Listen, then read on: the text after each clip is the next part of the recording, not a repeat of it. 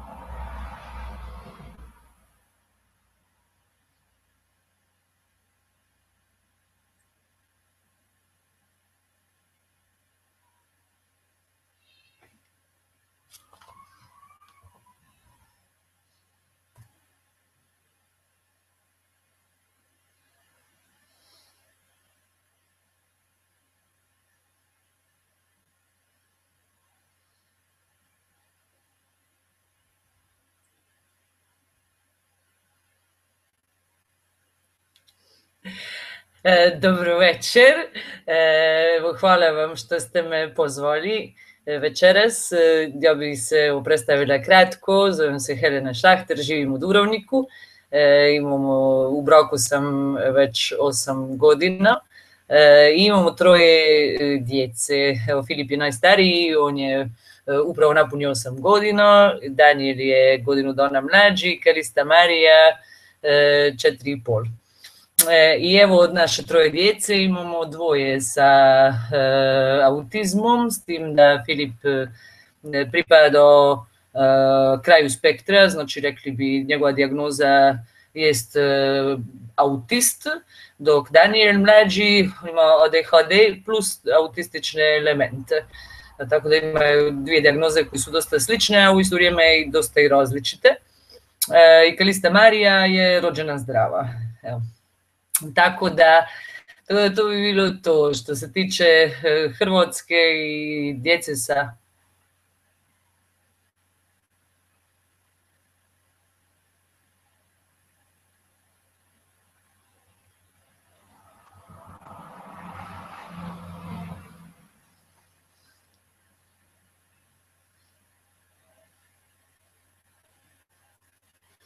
Pa dobro, ja nisam neki stručnjak, ja sam samo jedna mama evo, koja je željela donijeti jednu dobru vijest i nažalost bila prognana radi te dobre vijesti, ali tako to uvijek bude sa glasnicima, naučili smo iz povijesti, tako to mora valjda biti.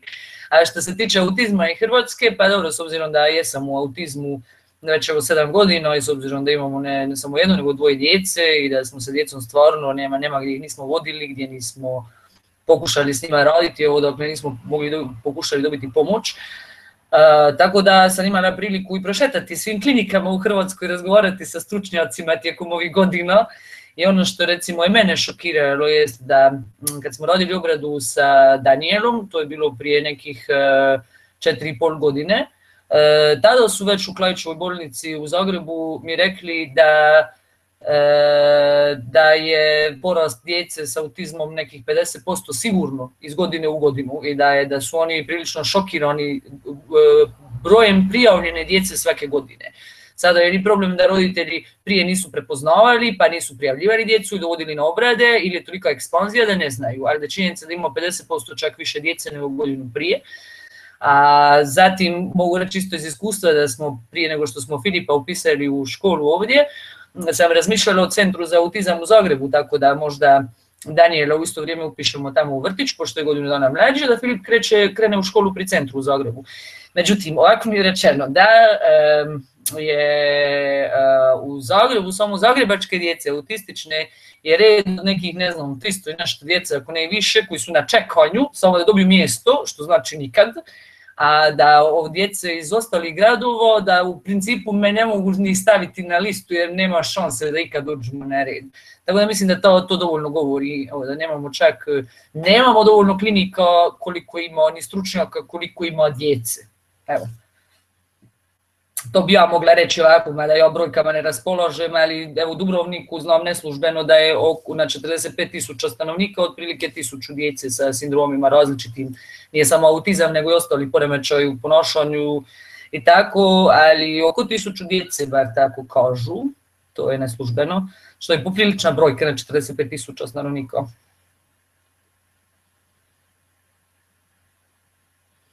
Uh, Dobro, ok. E, što se tiče samo, e, što se tiče djece i rođenja sa autizmom, opet ponavljam, ja nisam neki stručnjak, ali naučila sam jako puno ovih godinu i po dana, tako da ono što ja mogu reći isto iz mog osobnog iskustva i iskustva mog osobnog što se tiče obiteljskog iskustva, E, Filip se uredno razvijao do godine i dva mjeseca, imali smo jedno zdravo, uredno dijete koje motor, motorički senzorno bio, bio jednog drugoj djeci i progovorio i prohodao i senzorno motorički bio savršen, znači već je razvio se bio i govori se.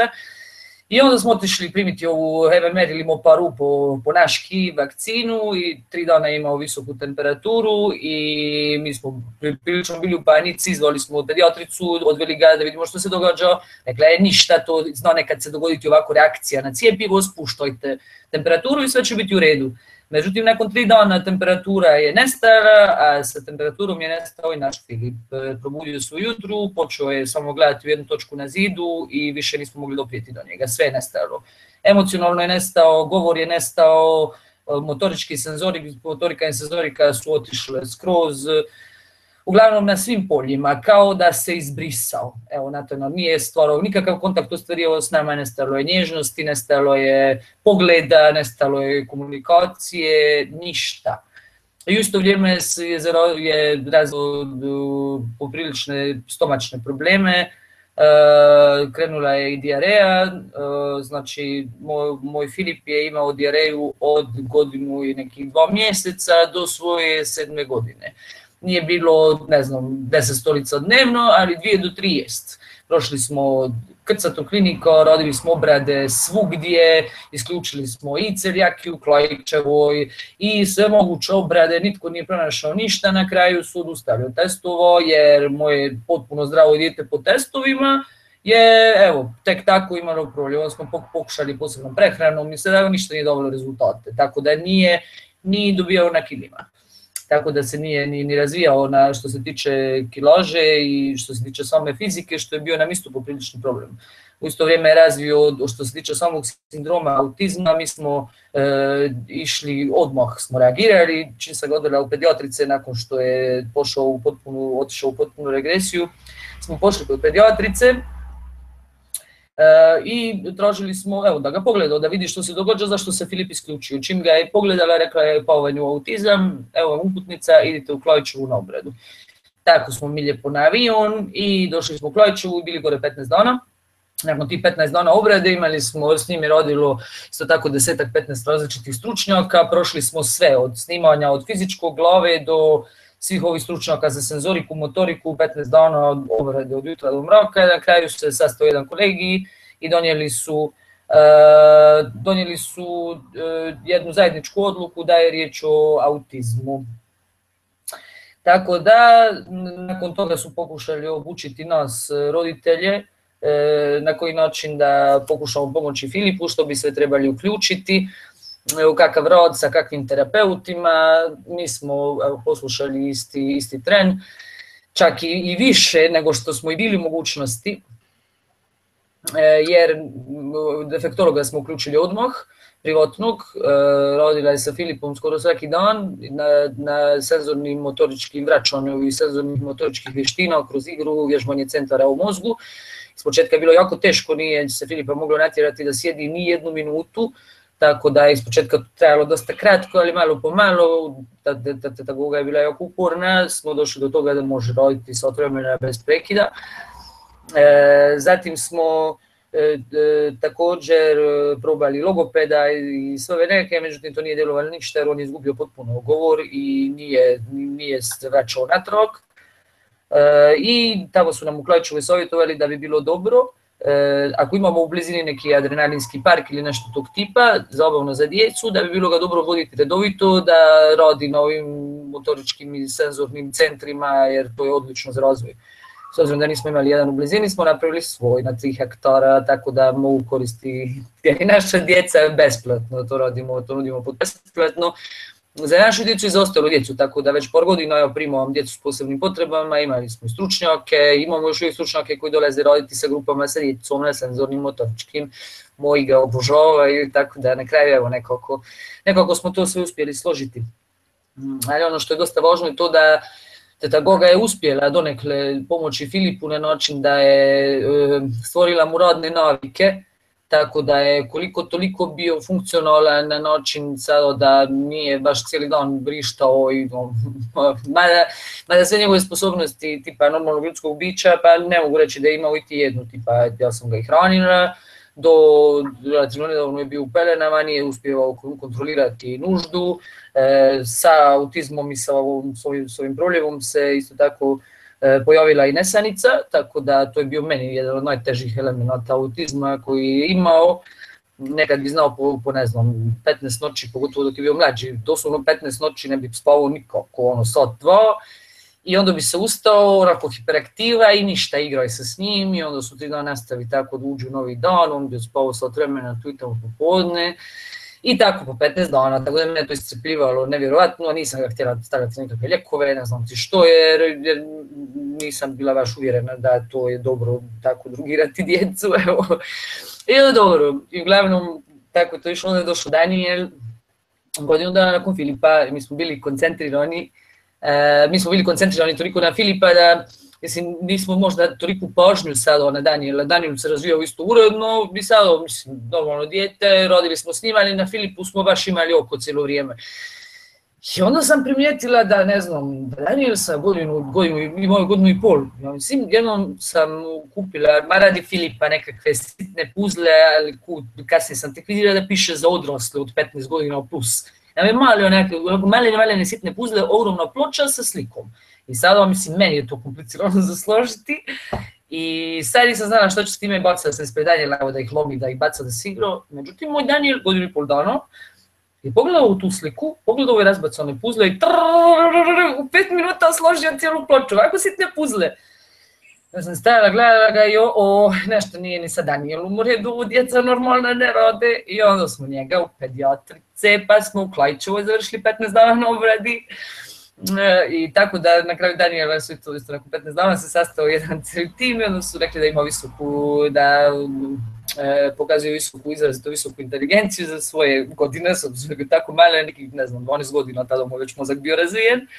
Inače, samo danas govori, govori dva par jezika tečno, ne znam, mateze, matematiku je genije, množi iz broja, oduzima, dijeli brojeve preko 10 tisuća, ima samo 6 godina, mislim dobro, skoro 7, 7 za dva mjeseca. Uh, ali on gen, genijalan je u svemu, tako da, da evo, njega je na tu stranu, bacilo u principu ono što bi bilo ovako, mada sam ja lajk, jeste svjetle mu dijelovi mozga koji normalnim ljudima ne svijetle na ovim snimcima, a dok normalni centri koji bi trebali pokazivati aktivnost ne pokazuju. Tako da je od njega eto, bacio na visoku inteligenciju plus autistične elemente, tipa nisto nije progovorio, on je bio neverbalan do 4,5 godine,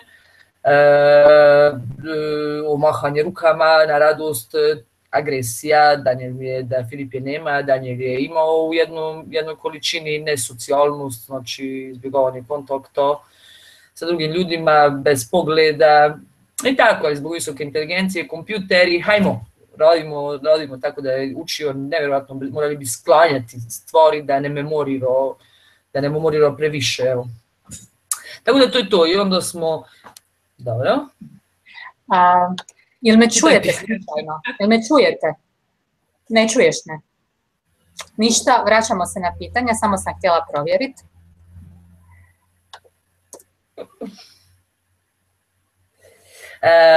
pa što nekako ne znam, e, znači kad smo vidjeli da dalje nešto nije u redu, mi mislim, nismo planirali sljedeće dijete, ali nismo, bili smo otvoreni životu na način da sjeli smo kući za stol i onda smo rekli ovako, mislim, već imamo dvoje sa posebnim potrebama, na način smo se specijalizirali, a evo ako Bog hoće dati još jedno, ne znam, ja sam se smatrala počašćenom jer je teško je brinuti se o normalnoj zdravoj djeci, to je već jedan, jedan napor za jednu majku, je to 24-satni posao, mislim, to zna svaka majka.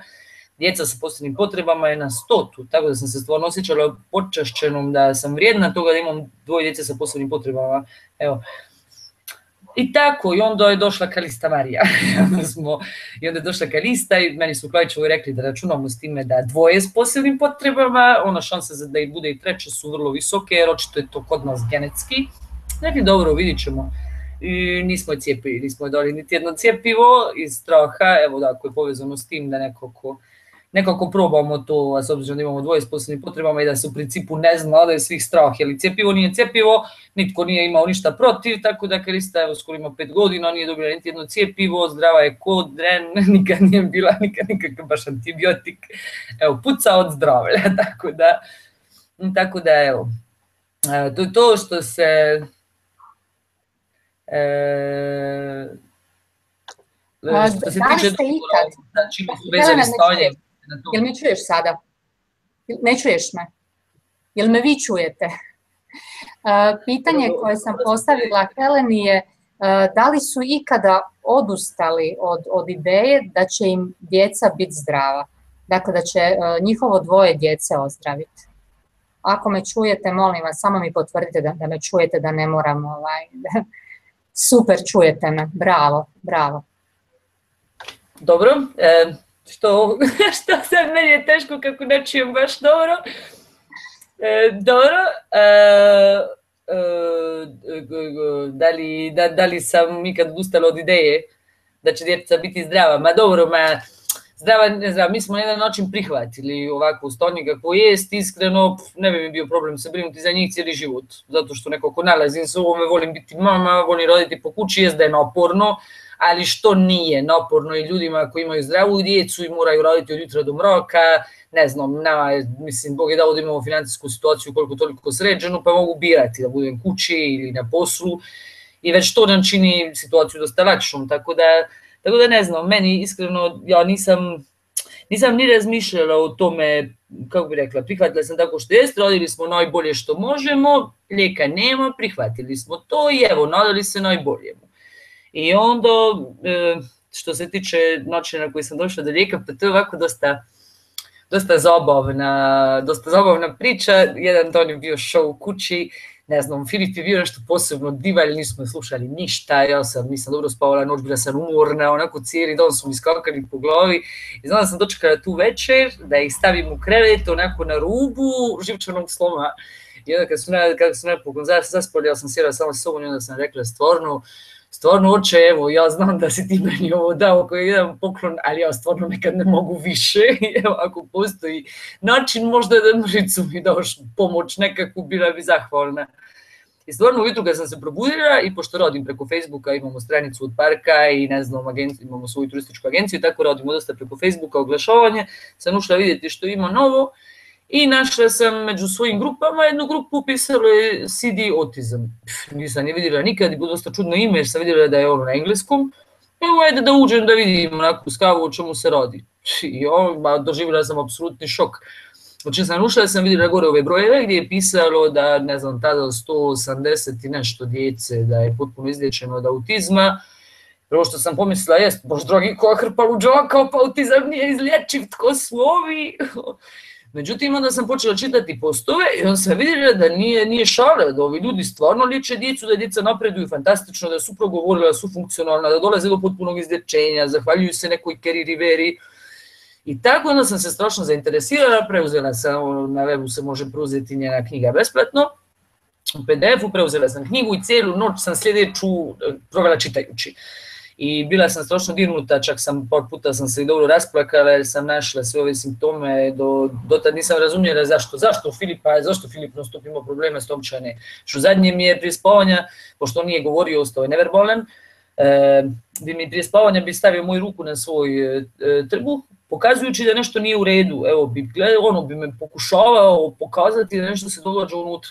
Ja, sve smo provali, ne znam što da radimo.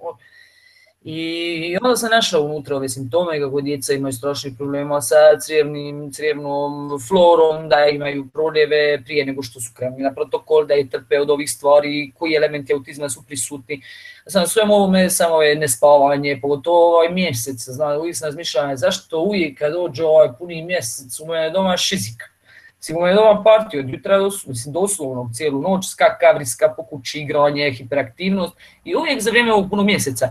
I to mi je bilo strašno zanimljivo, tamo sam našla da, da ovo što naša djeca imaju, ovo doslovno čudovišta u crijevima, da se množe za vrijeme ovog punog mjeseca i da onda su dosta aktivni i to djecu potiče na aktivnost. Stvarno, moj, meni Filip nikad nije za vrijeme punog mjeseca spavao, od kad se rodio. Mislim, od kad je pao ovaj autizam, puni mjesec, nikad.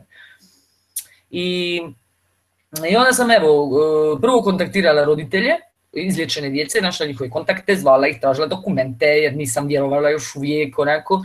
Onda sam e, tražila ovaj, klordioksid da vidim što kaže svijet o klordioksidu, gdje se sve koristi, na koje načine, da li je štetno, nije štetno, pa sam na kraju zvala i Oxford, oni su radili najbolju studiju do sad na klordioksid na ljudskim ispitanicima mjesecima i nisu našli nikakvu, na, na, na trostruko većoj količini od opuštene i nisu našli nikakvu štetnost niti utjeca na ljudsko tijelo, osim što ozbiljno tagira patogene i mort da ih raznese jer je vezano na kisik pa ih, pa ih oksidira.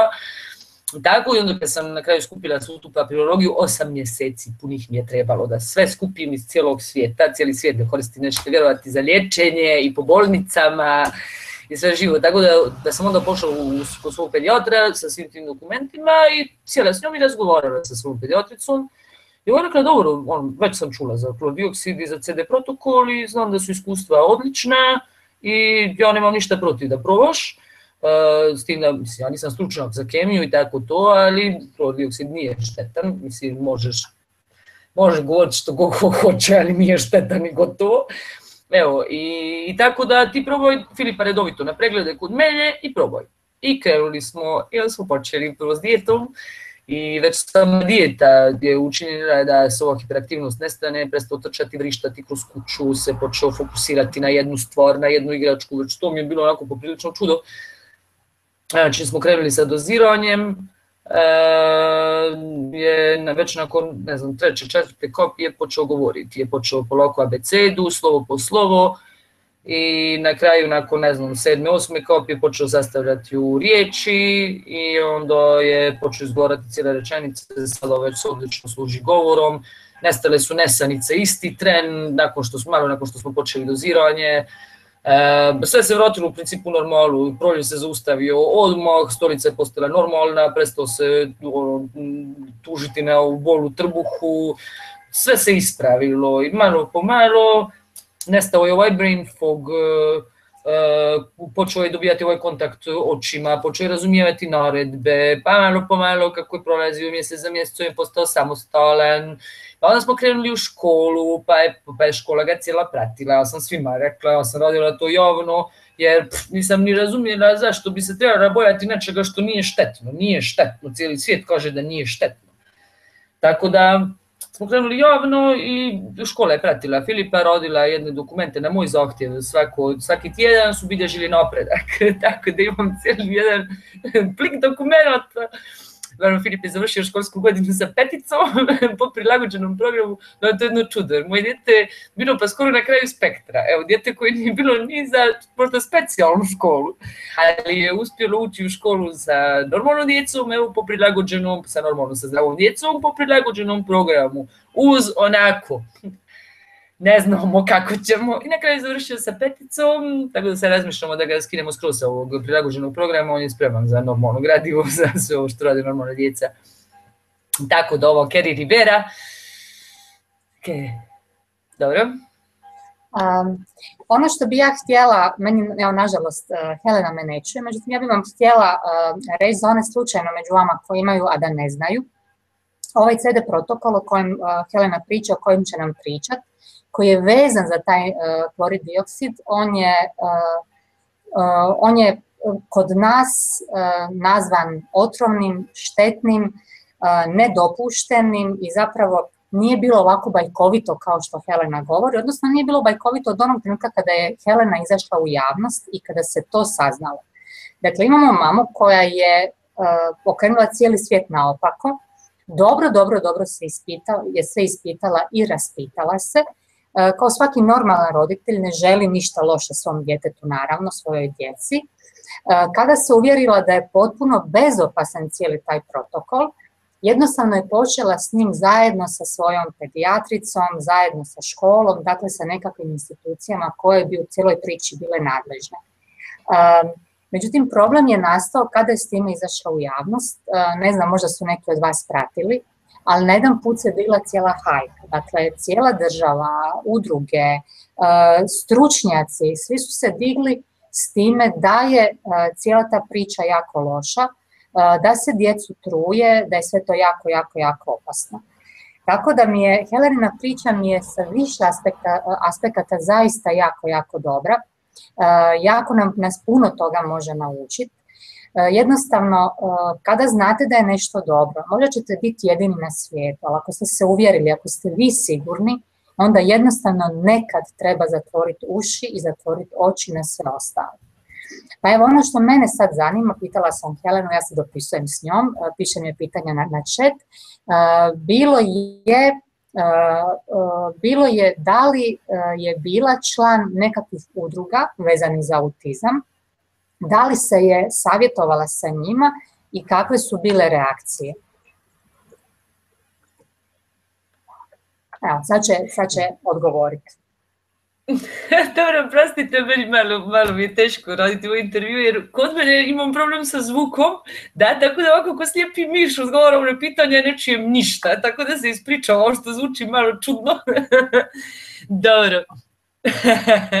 što se tiče udruga vezanih za autizam, da, kako smo mi krenuli raditi, otvorili taj park i krenuli raditi sa djecom sa posebnim potrebama u Dubrovniku, E, aktivno, e, tako smo isto postali člani udruge jedne od dvije udruge u Dubrovniku koliko ih ima, e, a i u kontaktu sam redovitom sa svim ostalim udrugama u našoj županiji. Čak govorim naše županije do cijele Hrvatske mi znaju dolaziti na grupe djeca sa posebnim potrebama roditi u Kodonskom parku. E, tako da da, i reakcije su bile, pa malo je reći, užasne. Uglavnom, ali, ali prostite što se sad je meni sve smišno, ali onda vjerujte da mi nije bilo uopće. Uglavnom, ja nakon što sam sustara i provodila javno vidjeći kako Filip e, izlazi iz ovog stanja autizma, umeđu vremenu smo pokrenuli sa Danielom, Daniel pošto je imao lakši, lakši, lakši oblik autizma i ovu, visoku inteligenciju, njega, na njega je očito djelovalo puno, puno brže, tako da nakon par mjeseci već mu je ovaj atek e, po atek listi pali su mu bodovi na samo pet, što znači da je spadao među izlječene. Daniel više nema nikakvih vidljivih znakova poremećaja, sada se izjednačio sa drugom djecom i stvarno ja u kući ne mogu primijetiti više ništa, što je odlično, dok na Filipu još imamo rada. A što se tiče samih udruga, bilo je, ajme majko, dobro, kje znaš li ti što si napravila? I ja do tada, ali stvarno, ja sam se koncentrirala na Kerry Riveru, na CD protokol, klordioksid kao kemikaliju, mislim klordioksid kao klordioksid, imam i stručnjaka za kemiju živi preko puta mene kuća, Prvog sam zvala njega da mi objasni kemičari po struci e, što je točno klordioksid jer sam htjela učiti. I tako da ja iskreno za Jima Humberla nisam čula nikad. I nisam ni znala da u Dubrovniku postoje ljudi koji su se već liječili klordioksidom, da je to poprilično, u popriličnim razmjerima u svijetu, milijuni. I onda tako da kad sam se ustala i kad sam rekla to javno, svi koji znaju su se uhvatili za glavu, valjda niko se nije osuđivao reći to javno do sad. Ljudi se liječe sve u tišini, jer iz nekog razloga farmacija nije baš sretna. Evo, i onda kad sam sustala, svi su uhvatili za glavu, ma ti, što je tebi, što nisi šutala i liječila svoj... A onda na kraju, kad, kad sam vidjela u principu da htjela sam donijeti jednu vrlo dobru vijest i kad sam vidjela ovaj šok, kad je počeo ponovi nam ovaj progon sa šizika, i onda sam tek vidjela u principu kako, kako evo, nismo napravili jednu malu stvar, napravili smo jednu veliku stvar jer koliko god se digla prašina i sve, ma bilo ko je mogao ući na, preko interneta i pogledati tko je Jim Humble, što radi u životu Jim Humble, iskustva izrečenih ljudima na tisuće, to da se klorodioksid koristi svugdje, Ma tako da iskreno nije sada sam se nešto bojala, ali ova farmacija očito mi je zamjerila, jer nakon malo vremena, nakon što sam se ustala, sam bila tužena, e, netko je poslao pismo o, o, e, dječjoj pravobraniteljici u Hrvatskoj, Uh, žena koju ja nikad nisam, za koju nikad nisam čula, niti sam je vidjela, čak sam je pokušala naći kasnije preko Facebooka, samo da vidim tko je, međutim nisam je našla uopće, sad ni ne znam ni tko je ni što je, ali u međuvremenu sam imala priličnih napada iz jedne srpske grupe e, Šr Velkov koji smijavaju u doktoricu Velkov koja liječi u Srbiji s ovim prirodnim metodama, strašno im je na meti. I onda, ne znam, oni su, ekipa je e, farmacija, znači svi su u grupi, imaju 99% diplome iz nečega, svi su doktori nečega i, e, i evo, zadatak im je vrebati na Facebooku tko se liječi prirodnim metodama i ako napišete da ste popili čaj od šipka jer imate upalu grla, a niste koristili uz to paracetamol, doslovno pošalju policiju na vrata. Evo tako to izgleda, ono, jer se liječite nekim tamo mambo džambo šipkom, a niste popili paracetamol. I onda kad su vidjeli mene i da sam sustala i počela govoriti o klodioksidu, e, ja sam bila super meta, tako da su me napali svim sredstvima. Prije nego što je prva užasna priča izišla u novinama u Hrvatskoj, ja sam već dobila prije toga i to imam ispremljeno na Facebook poruku, tipa ovako je to izgledalo malo, nasloni se i uživo i pročitao je sutra na te portalu što će ti izići moja pamet, no, ono tipa sutra dan na te portalu, ono grozno, da se djeci uh, paraju crijeva, da izlaze, nemam pojma šta. Ja sam već bila dan prije upozorena, prije nego što je to izišlo. I tako svaki put, kad je krenulo 24 sata, ja bi dobila već poruku prije, tako da sam znala da oni to rade, mislim, da je tko je iza toga, a što sad, mislim, na kraju kreva sam i pustila, nisam se petala puno znajući da, s obzirom da sam upravo, evo. Što se tiče da je preobraniteljica podigne tužbu da se ne raspita o štetnosti postupka, pa tako to valjda kod nas ide. Šta da vam kažem, vidite na državi. pa dobro, ne znam, ja sam kasnije razgovarala sa ovom preobraniteljicom, na kraju mi je bilo cijele ekipe stvarno žao, jer nije njihov posao lagan. Jer oni kad su dobili ovo pismo, e, morali su reagirati, jer je ipak o djeci o nekakvom mogućem zlostavljanju, farmacija, o FDA, mislim, koji su to isto razapeli su MMS, kao jedno čudesno sredstvo, a klordioksid isto, mislim, dva imena, isti proizvod, e, njene su razapeli, zabranili upotrebu i nemam pojma kakve se laži napisali, a s druge strane su odobrili, odobrili klordioksid. Klordioksid je odobren i za potrebe liječenja. Evropa je napravila, kako se to zove, FSF, uglavnom ga je odobrila za posebne bolesti koje su dosta rijetke baš liječenje klordioksidom patentirano i odobreno od Europske unije i koristi se u svim bolnicama po Europi tipa, ima jedan oblik skleroze koji je dosta rijedak, za to se koristi još ima nekih bolesti. Znači, da ono što su napravili jest da odobrivši to bez nekih velikih testova, uzeli su studiju od Oxforda i još neke, znači nisu, ne se trebalo ulagati milijune za napraviti studije da bi se nešto prihvatilo kao lijek, prihvatili su klordioksid kao lijek samo zbog ovih e, bolesti koje su se pokazale do tada neizlječivima. Pogodite što, liječe se klordioksidom, nećete vjerovati. I zato su ga prihvatili kao lijek. Klordioksid nije samo da je, da nije štetan, nego danas sam saznala da je prihvaćen kao lijek. I to je ono, me šokiralo najviše od svega Znači, mi koristimo cijelo vremena lijek i oni su vremena šizli. evo. Tako da evo, vrlo dobro preobraniteljica si nije imala izbora, razmišljajući jednako videći kako farmacija šizi, morala je poslati pismo Dorku, ovi su morali također reagirati, pa smo imali policiju kući, specijalce, ne znam koliko, 3, 4, 5, 6 auta sa ovim rotirkama, mi na ručku, djeca se igraju, boravak, ono, obiteljska atmosfera, ovi uletili uniformama, smrknuti, Mislim, ono, hello, što se događa bez poziva, bez ičega, a morali smo i pretres, jo, dobro, što tražite? Klordioksid, pa dobro, evo vam ovdje na stoliću skupa sa bočicama, ne trebamo trati pretres.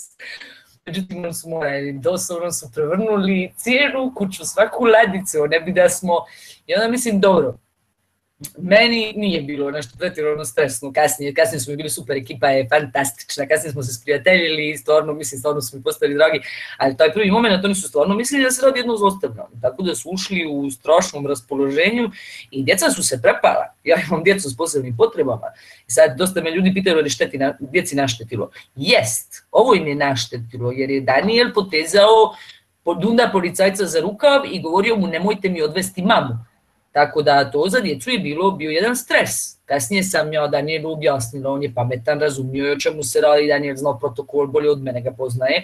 Tako da, da sam objasnila, ne mogao razumijeti, evo, ali da nije djelovalo stres, to sigurno jest. Tako da dobro, i onda sam završila ja, na policiji, držali smo je tamo jedan cijeli dan, prvi put da sam mogla, evo, da sam mogla vidjeti kako to izgleda. I bili su super, stvarno, držali su me kako bude na danu, predala sam im sve dokumente, isti tren i oni kada su ušli u eduku dokumentaciju su pitali, dobro, ko je tebe uopće su sudio tužiti, pa klor dioksid je odobren. Ovo je prvo obični dezinfikator vode, s druge strane patentiran za jako puno bolesti, se koristi kao lijek.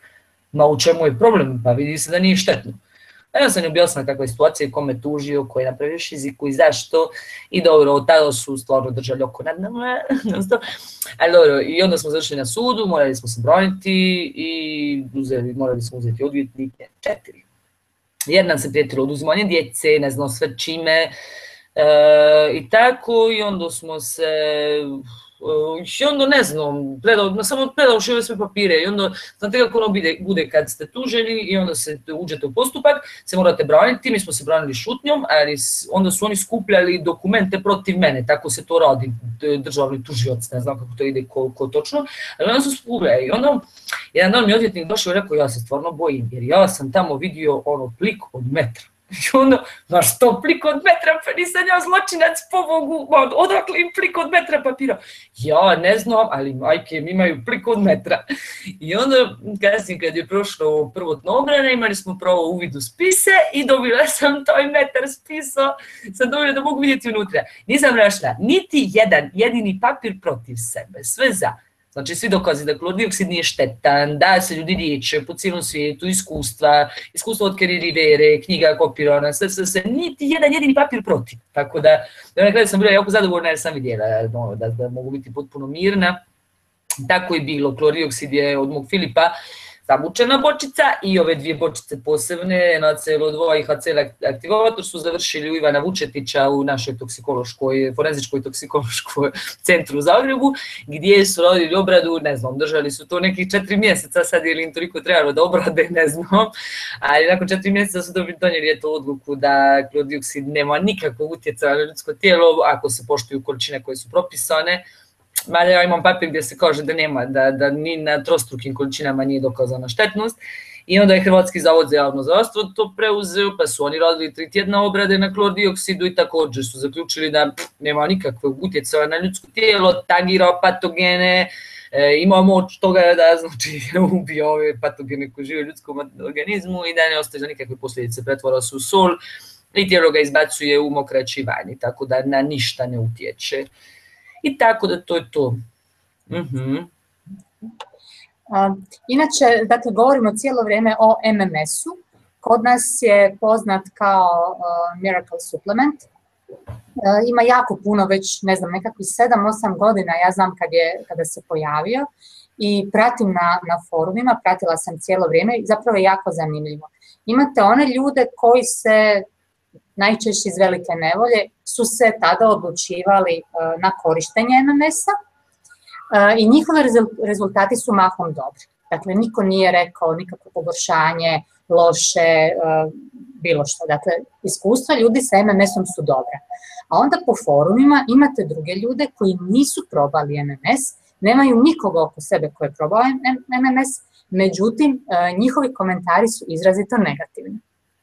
Dakle, ovo čemu sada pričamo možete naći, vrlo je zapravo e, jeftin pripravak, e, možete ga naći, možete ga e, kupiti, možete ga koristiti, naravno u dozama koje su preporučene, zaista liječi cijeli spektar. I evo, hvala velika Heleni, radi toga što se zaista cijelo vrijeme je nekakva, nazovimo stručna javnost, je tvrdila da je to otrov, da je to izbjeljivač, da se to ne smije koristiti, da je to ludost. Međutim, iskustva ljudi su demantirali, evo sada napokon imamo to i crno na bijelo, pa Helena hvala. Ono što mene zanima, jedno, jedno pitanje koje je vrlo logično, a to je, postavila sam ga Heleni, na, napisala sam, kako je moguće da netko ko barata osnovama kemije, dakle mi ovdje govorimo o jednom vrlo jednostavnom kemijskom spoju, kako je moguće dakle, da svi kemičari, da ne govorim stručnjaci koji sjede u razno raznim zavodima za zdravstvo i slično, kako je moguće da oni MMS u tim količinama u kojima se on daje, a koje su savršeno u granicama dopuštenog i neštetnog za ljude, kako je moguće da ga proglasi štetnim? E, pa dobro, evo, kasnije jedva čekam da čujem ovaj intervju jer pričaš, pričaš, pričaš, pričaš, pričaš, pričaš, pričaš i onda vidim ovo meleno pitanje od tri riječi. dobro, ko zna što ona napričala umeđu vremenu. Dobro, ako što se tiče same štetnosti ovoga, ovih naših stručnjaka i tako to, ma, ja bi mogla bi reći da su zločesti, da su potpločeni, nemam pojma što dijelove, na dijelove stvarno tako mislim i ja sam uvijek iskrena i žao mi je što neko možda će se naljutiti, ali moram isto tako reći da u dubini ih i razumijem, zato što, evo jednom, jedna priča, bio jednom jedan Jim Humble, Među vremenu sam se sa doktorom Hamilom dosta sprijateljila, počeli smo preko mailova, sam upisala kako lijepo ga spominju po novinama u Hrvatskoj, tako da smo ušli jedan kontakt i na kraju smo se stvarno sprijateljili se, nadam da će doći na odmor ove godine tu, tako da ma prekrasan je stvarno jedan, jedan čovjek, jedan čovjek koji je ozbiljno zaslužio Nobelovu nagradu, šteta što živimo u svijetu gdje su vrijednosti potpuno izvrnute, ali evo nekako se naviknemo valjda s vremenom. Što se tiče samoga Jima Hamera, uglavnom on nije, on nije izumitelj klordioksida, on ga je samo re, reizumio na jedan način. I onda kad je otkrio ovo, da na način na se klordioksid e, ponaša u ljudskom tijelu i da e, skoro pa može izliječiti, znači testirali su na sve bolesti na svijetu, i na HIV, i na leukemiju, i na, na sve moguće bolesti, i liječi sve. Znači moguće je da se izliječi sve, u leukemiju, ne ovu, Malariju 70 tisuća su odjednom u Africi izliječili sa injekcijama klodioksida. Tako se postoje na YouTube filmovi, se to može vidjeti. E, tako da vidjeći ovo je uh, predstavio klordioksid farmaciji, naravno. I ono što je farmacija htjela jest apsolutni monopol nad klordioksidom, da stave svoj pečat, e, da Master Miracle Solution bude uh, njihov brand.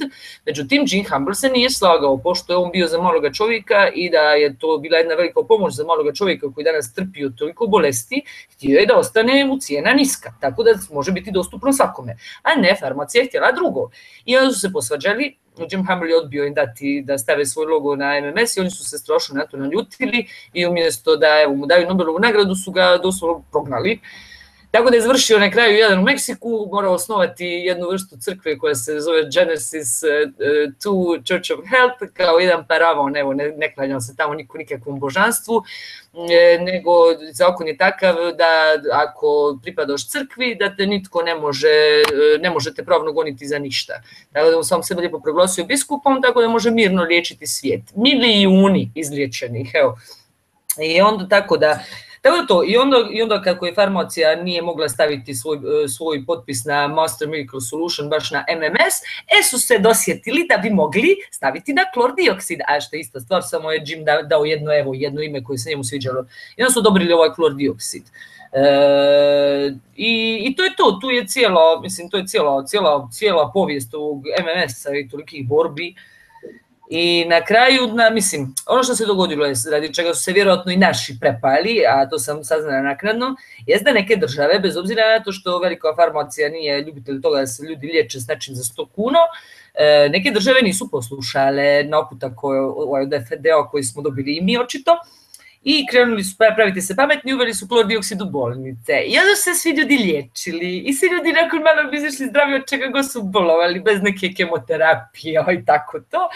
I onda velika farmacija kad saznala zato doslovno je zustavila e, uvoz svih ljekova mogućih u te zemlje dok nisu prestali to roditi. Evo na koji način su ih ucijenili onda su jadni morali prestati to roditi jer, jer ono ispala ispod na svjetskoj razini. I tako da od tada su svi vrlo, vrlo, vrlo oprezni s upotrebom klordioksida, e, ako, mislim, ako ne, ne koristi se baš za ove stvari koje je patentirano.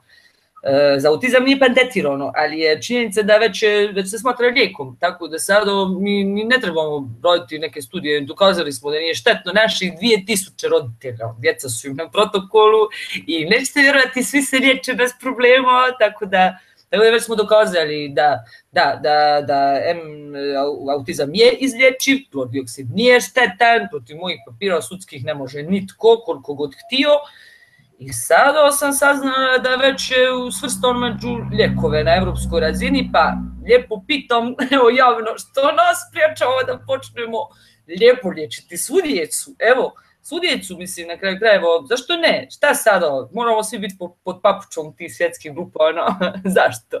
Ti djeca su važnije, ako mislim, evo.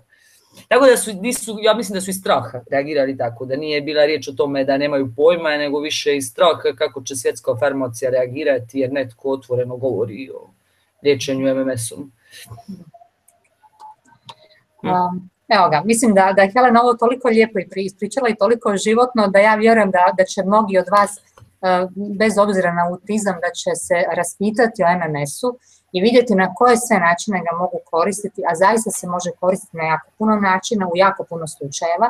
Ja sam sada zamolila, to je zamolit ću Helenu, da nam kaže gdje ga se može nabaviti, tako da evo, uh, neko od vas zaista poželi uh, i da, i da može nabaviti MMS i uvez ga bilo za djecu, bilo za, za sebe, jer zaista liječi jedan jako, jako veliki spektar.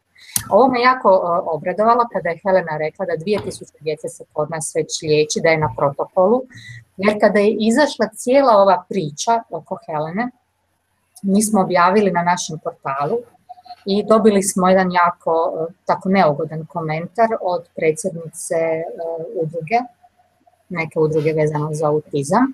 A isto tako znam da su neki roditelji e, čija djeca imaju, naravno, ljudi ne znaju, vjeruju, vjeruju e, stručnoj javnosti, vjeruju stručnjacima, jednostavno su vjerovali da je MMS otrovan i da ono što radi Helena, da ono što rade ti roditelji koji jesu na protokolu, da je zapravo trovanje vlastite djece.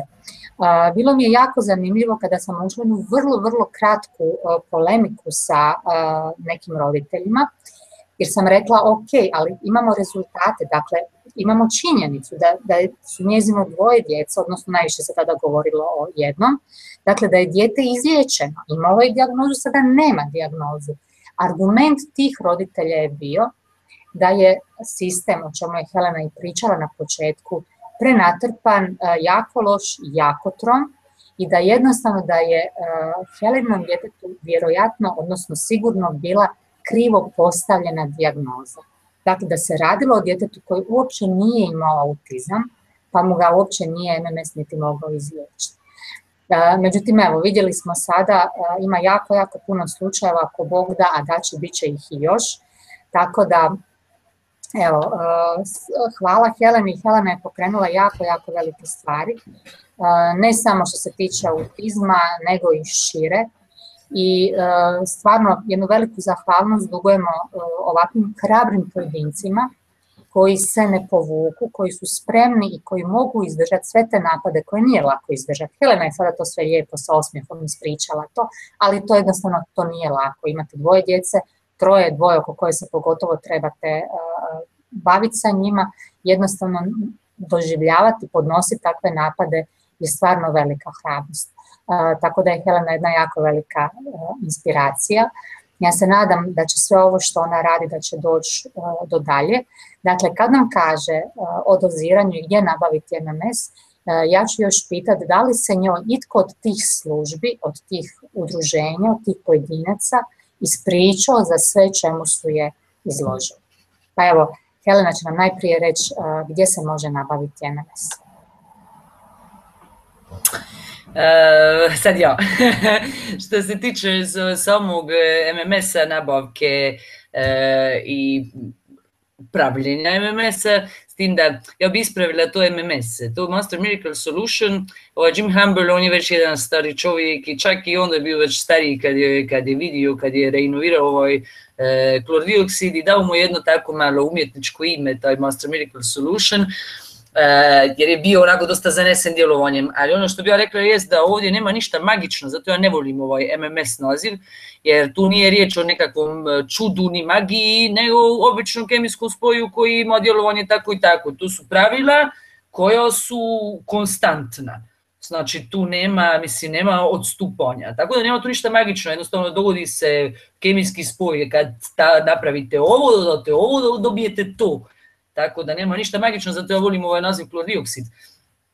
I što se tiče samog klordioksida, izrada mu je vrlo jednostavna, možete ga napraviti kući, to je stvarno nije ništa posebno.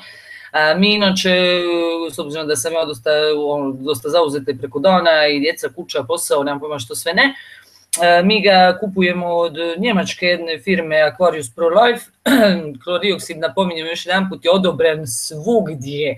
I znači su u Hrvatsku imamo firmu koja ga proizvodi, dosta naših gradova je voda je dezinficirana klordioksidom, pa što mislite, dakle oni kupuju tolike količine, mislim kao niko meni para da ga možda i mi proizvodimo, evo, tako da imate u Hrvatskoj, imate u njemu, mi volimo ovaj njemački, ne znam zašto, nekako, E, sviđa mi se ovaj Aquarius Pro Life, imaju odličnih proizvoda, ne samo klordioksid, nego imaju i ovih nekakvih za čišćenje organizma koje se meni jako sviđaju.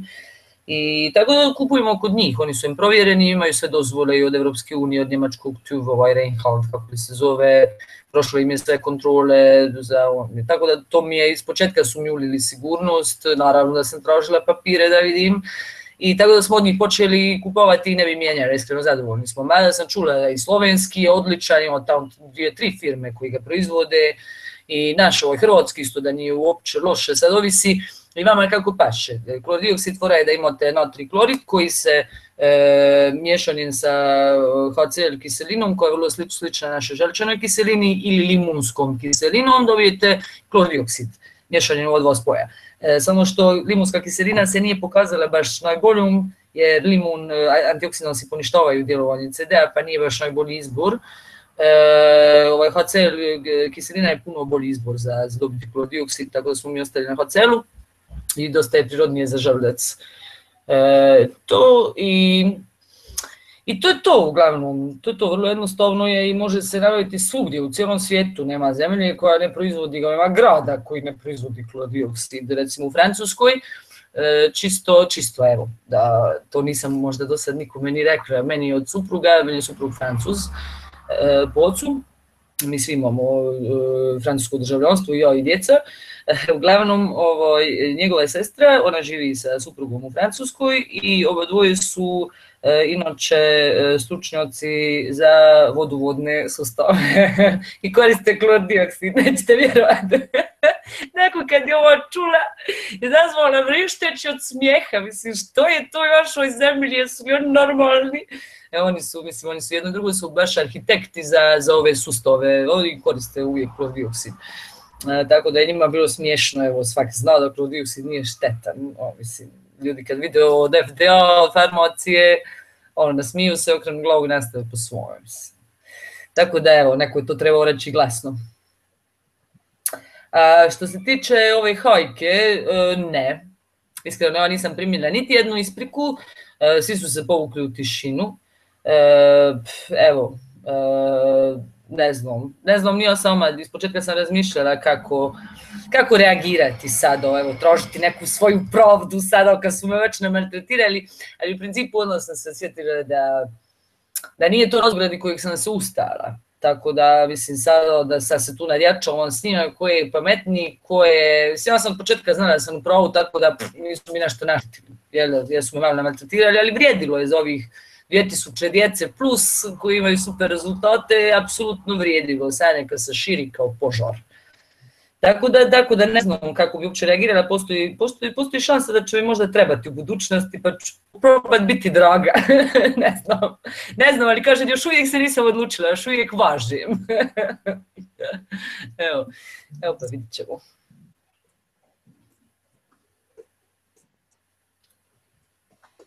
Evo ga, mi smo već negdje pri kraju emisije, e, niko nije pitao ništa, dakle Helena je odgovorila sve što bi eventualno neko pitao. E, sad ću još za kraj pitat e, gdje, gdje možete eventualno doći u kontakt s njom, odnosno gdje možete vidjeti taj, taj protokol, informirati se o svemu, dobiti ono što vas, što vas možda zanima. Međutim, kao i uvijek, kad god imate nešto, stanite, kopajte sami, tražite, preispitujte, uzimajte sve argumente za, sve argumente protiv, ne govorim sada samo u ovom slučaju, nego općenito. Nekad ne treba baš slušati što većina govori, nego jednostavno, ne kako se kaže, ne možeš kroz zid nego glavom. Dakle, jedino, jedino glavom možete probiti zid i koristite svoju glavu, koristite sve dostupne e, izvore. Danas imamo internet, dostupno nam je zaista, zaista, zaista sve. Pa evo, hvala vam svima koji ste gledali ovu emisiju. Hvala puno Heleni i još evo kažem za kraj da nam Helena da eventualno nekakve kontakte, Facebook grupe ili već što je. Onda ćemo se oprostiti. Ja vam svima želim ugodnu i lijepu večer i da imate tako u sebi jedno, jednu sigurnost, jedno uvjerenje da jednostavno ne postoji ono što je neizlječivo. Sve se može izliječiti, za sve ima lijeka, za sve ima rješenja, samo se nikada ne smijemo pustiti. Evo ga, Helena. Da, evo ja još uvijek nemam pojma što si sad sve napričala, ali pretpostavljam da je došlo pomalo vrijeme da ovo zaključimo, tako da, da evo imam jednu želju da, da mogu izgovoriti ovo glasno, evo, autizam je izlječiv, nije nikakav problem, jest da nekoj djeci treba malo duže, malo više, a neko, neka od nekoj djeci treba kraće da se izlječe, sve ovisi o jačini sindroma, jačini zaraze, vrstama koje djeca imaju. Mi smo dobili potvrdu sa PCI Europe najbolje svjetske parazitologije da dijete mi je zaraženo, čujete li farmaciju, tako da, tako da evo, sve ovisi o vrstama koje djeca imaju, još tu imamo nekakvu inflamaciju u čeonom mrežnju koju trebala bi nam pomoć ove farmacije da to rješavamo što za što je evo teško od CD-u da, da dopre do, do, do, ovog virusa ili tiga bakterije, što god uzrokuje, tako da sad radimo na tome, pokušavamo raditi neke studije, ulažući sami, evo da vidimo kako bi mogli ubrzati ovaj protokol mricu, ali uglavnom autizam je izlječiv, tako da evo, što se tiče samih, e, same pomoći za roditelje informacija, pa je najbolje onako kako sam rodila ja ući u grupu s idiotizam, Hajde se prvo stoljeće, ne znam što ste očekivali, danas je, danas je moguće doći do, do kraja svijeta sa, do svake informacije pomoću ovih ekrana i logično je da će ljudi tražiti pomoć informacije, a ja sam sa najboljim svjetskim doktorima razgovarala preko Skype-a, pa što? Evo, isto kada su sjedali preko puta mene, ne znam zašto se svi bune protiv e, liječenja, kako to zovu, kako to zovu uopće, kako internet liječenje, ma zašto ne, na kraju krajeva. Tako da u grupa Autism, E, to je matična grupa koja je u Americi inače i tamo smo svi mi ekipa iz Hrvatske su nas ovdje trolovi maltretirali, ima nas preko 2000 s ovih područja i može se govoriti na, pisati na hrvatskom i na engleskom jer svi smo mi tamo tako da svejedno je mi prevodimo ako nešto treba a i ova ekipa sa puno više iskustva koji su već izliječili djecu i mogu prenijeti iskustvo su tamo. Sve informacije su u datotekama, knjiga od Kerry se preuzima, Kerry Rivera, Healing the Symptoms of Autism, besplatno. Sa weba se može preuzeti u PDF formatu i to je to. Mislim, vrlo, vrlo jednostavno, stvarno jednostavan protokol za upotrebu, evo. I mi smo tamo, tamo sam i ja, možemo